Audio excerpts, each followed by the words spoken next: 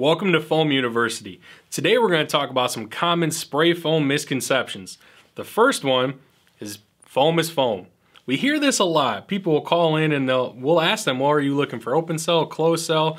And they'll say, oh, well, foam is foam. Could not be further from the truth. Now, this also, obviously open cell and closed cell is very different, but also manufacturer to manufacturer, very, very different. Different manufacturers offer different testing, different reporting, of course, different R values, flame ratings, things like that. So every single foam manufacturer out there is very different. You as a consumer should really know exactly what's being put on your project and your contractor should be able to explain exactly what they're using. Next thing we're gonna talk about, open cell versus closed cell. Everyone has this debate. Contractors will talk about this all day, and if you ask five people, you'll get 12 answers. Well, simple answer is one's not better than the other. One just is more suitable for some projects and the other is more suitable for other projects. It all depends on what you're doing. Closed cell, rule of thumb, is better for commercial projects, just like our rule of thumb is open cell. It's usually better for residential projects.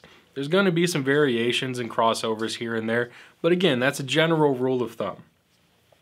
Next thing we're going to talk about is open cell absorbs water. We hear this all the time. Now, the sad fact is there are several manufacturers out there where their open cell does absorb a lot of moisture.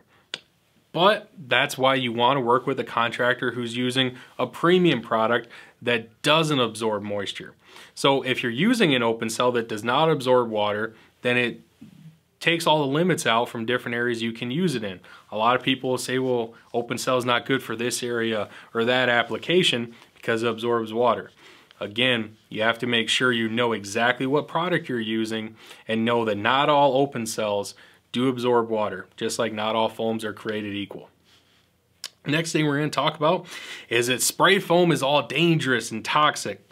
Now, some of this conception comes from the fact that spray foamers usually wear a full body suit and a respirator to make sure they don't get overspray on themselves, mostly because it sprays out hot, and you don't want to breathe in any of the mist that's being sprayed when you're applying the foam. Now, a good contractor, I would always recommend to use only low VOC products. Here at Retrofoam, that's all we ever use. Now, there are many contractors out there that use all different kinds of foam. So there will be some products out there that may have an odor that lingers longer or whatever different side effect that may occur at the project. But again, it's not that all foams are dangerous and toxic. Some do have different ratings than other, just like fire ratings and things like that. But again, it's why you want to know your contractor and that contractor should know exactly what foam they're using and be able to talk about those different ratings. And I always recommend using low VOC products. Hope this clears up some of the misconceptions about spray foam. If you found this information helpful, like the video, make sure you subscribe to our channel. Leave us a comment. Tell us about a rumor that maybe you heard about spray foam out in the world. We'll be glad to clear it up for you.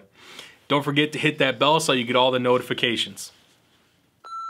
So if you really want to impress your friends with all that hot insulation knowledge, go check out our website, retrofoamofmichigan.com. Check out our learning center. You will be amazed at all the information and your friends will be impressed.